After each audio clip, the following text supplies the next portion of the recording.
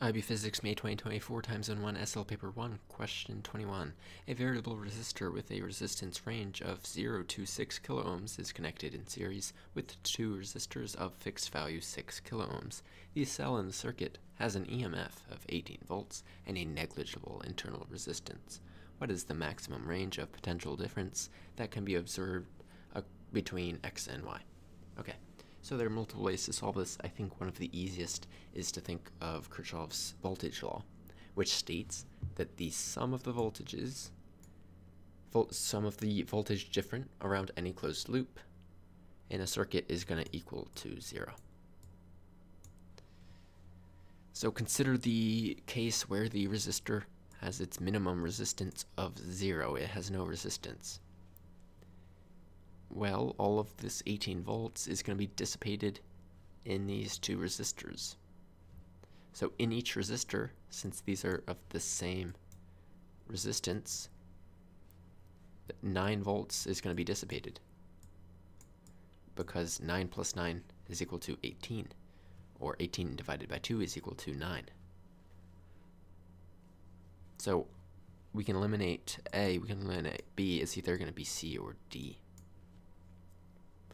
Now we need to consider the maximum case of 6 kilo ohm resistance in this variable resistor. Well now instead of two of the same resistances, we have three of the same resistances. So instead of 9 volts, instead of 9 volts, it's going to be, well, 18 volts over 3 because it is e the, the voltage difference is equally distributed. So we have 18 over 3, which is 6 volts. So each each um, resistor dissipates 6 volts of so there we go 6 volts for each. But now it is asking between x and y and the total voltage between x and y is 6 volts plus 6 volts so it's 12 volts. So the answer is going to be C. One other way to solve this is to use V equals IR Consider the first case where the resistance is 0. While I is equal to V over R, V is equal to 18 volts, and R is R total. So we have 6 kilo ohms plus 6 kilo ohms, so a total of 12 kilo, kilo ohms when the resistance in the variable resistor is 0.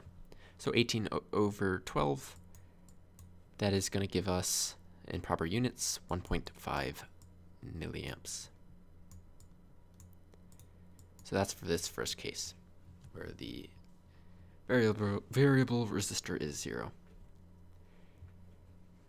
So V sub 1 is going to equal to I times R sub 1. I is this 1.5 milliamps, and R sub 1 is that 6 kilo ohms. So if we multiply these, we get 9 volts. So that's verifies our answer as C or D.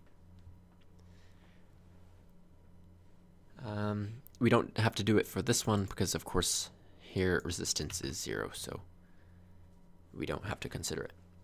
But now let's consider the second case where we do have a resistance here and that resistance is going to be 6 kilo ohms.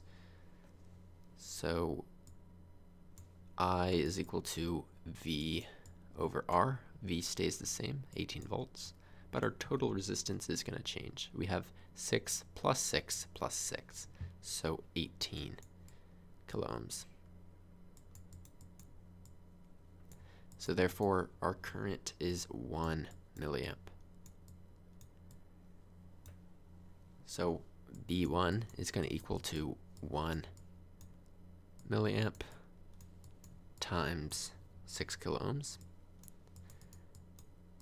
This time it has a different current. And the voltage here is 6 volts. Now we need to consider the second resistor here, because now it does have resistance. So V sub 2 is equal to the current times R sub 2. And current is, again, 1 milliamp. Resistance is 6 kiloohms. So the voltage is 6 volts. So the total voltage between X and Y is 6 volts plus 6 volts, which is 12 volts. So yes, that verifies our answer as C.